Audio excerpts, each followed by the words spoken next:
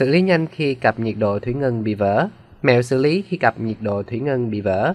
Có thể ngộ độc thủy ngân.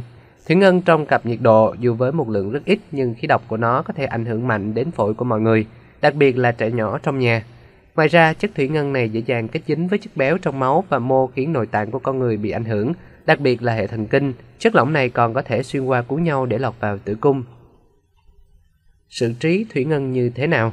Khi thủy ngân trong cặp nhiệt độ bị vỡ và chảy ra nhà, bạn cần dọn kỹ, nhanh và đúng cách. Khi thủy ngân chảy ra từ nhiệt kế, hãy di chuyển mọi người tránh xa khu vực bị thủy ngân chảy ra. Hãy đóng cửa sổ và cửa ra vào. Điều này sẽ khiến thủy ngân khó tan trong không khí và tuyệt đối không được để gió hùa.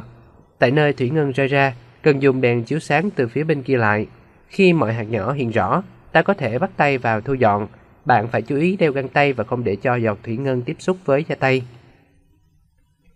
Thu gom các hạt thủy ngân bằng chổi lông mềm và dùng giấy mềm hốt như sẻn. Có thể dùng giấy hoặc các dụng cụ y tế. Khi làm phải rất nhẹ nhàng và vừa hót vừa đỡ, nếu không giọt thủy ngân sẽ rơi ra ngoài. Nếu thủy ngân vỡ như thành hạt nhỏ, bạn có thể lấy giấy báo ngâm với nước, vắt khô rồi lau nhẹ nhàng. Thủy ngân được thu gom bởi cách nào đi nữa thì cũng phải bỏ vào hộp để kín nắp. Sau 1 đến 2 tiếng có thể bắt tay vào dọn nền nhà.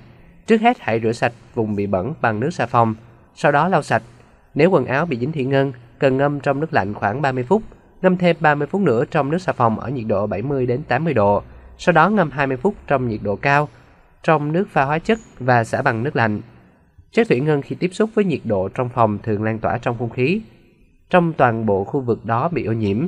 Vì vậy, sau khi thu dọn, bạn cần thông gió cho căn phòng, mở cửa thông thoáng trong vòng vài giờ liền. Sau đó bạn cần uống thật nhiều nước vì có thể đào thải chất độc thủy ngân qua đường thận.